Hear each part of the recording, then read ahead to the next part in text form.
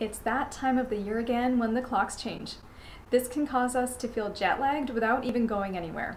Today we'll take a look at why the clocks change and what we can do to prepare for it. I'm Dr. Nishi Bhopal. I'm a board certified physician specializing in integrative psychiatry and sleep medicine. Why do we even change the clocks in the spring and again in the fall in the first place? Daylight saving time was implemented to help save energy. Germany was the first country to implement daylight saving time back in 1916 during the First World War. Shortly afterwards, the rest of Europe, Britain, Canada, and the US followed suit, and then it was in the 1960s that it actually became a regular thing across the United States. We've all heard the adage spring forward, fall back. This year, the clocks will go back on November 1st by one hour, ending daylight saving time and reverting back to standard time. Even though it's just a one hour change, it can actually have a significant impact on the body clock. A lot of us do enjoy that extra hour of sleep in the fall when the clocks go back, but that forward time change, moving the clocks forward by one hour in the spring, can actually be hazardous to health.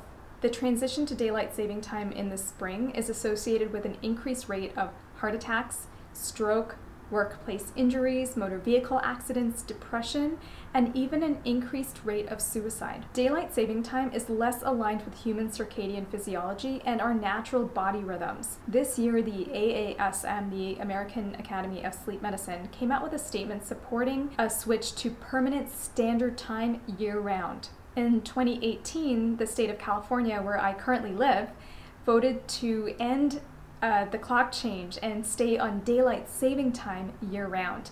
This hasn't been implemented yet because legislative action is still pending. A little further north of here in British Columbia, uh, a province on the west coast of Canada where I grew up, is also introducing a measure to stay on daylight saving time permanently year round.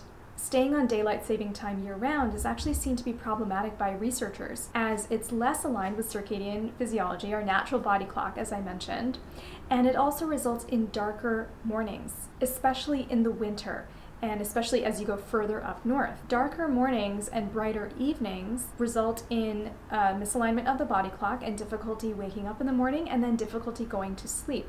This misalignment leads to the serious health issues that I mentioned earlier and also negatively affects work performance and productivity. Instead of staying on permanent daylight saving time year round, experts recommend reverting to standard time year round. Now, we're switching to standard time next weekend on November 1st. This switch is usually easier because the clocks go back and we get an extra hour of sleep. As I mentioned, even that one hour time change can be difficult to adjust to. So if you tend to have difficulty adjusting to the clock change, a few simple things can help you adjust to the new time zone. Get a dose of bright light, and you can do this by opening up your curtains and your blinds to get nice bright light in your home. You can also go outside for the dose of bright light and go for a walk or do a little bit of light exercise midday or in, in the early afternoon. And this will also help combat some of the fatigue and tiredness that we experience with the time change. And another simple thing to do is to eat your meals on time on the new schedule. On Sunday, let yourself wake up naturally and enjoy that extra hour of sleep. Most of us are sleep deprived at baseline and could really use that extra hour. Then notice how you feel after the extra hour of sleep. Do you feel more rested? Do you feel more energized, more focused, more productive, more calm?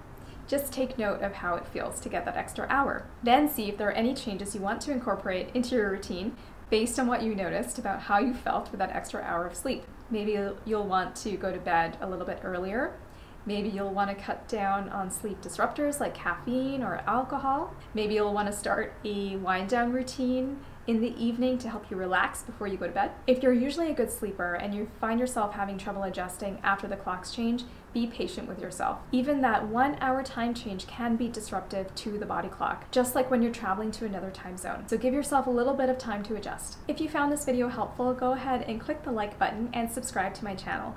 You can also sign up for my weekly newsletter to get more bite-sized tips on well-being. The link to the newsletter is in the video description and is also available on my website at intrabalance.com com.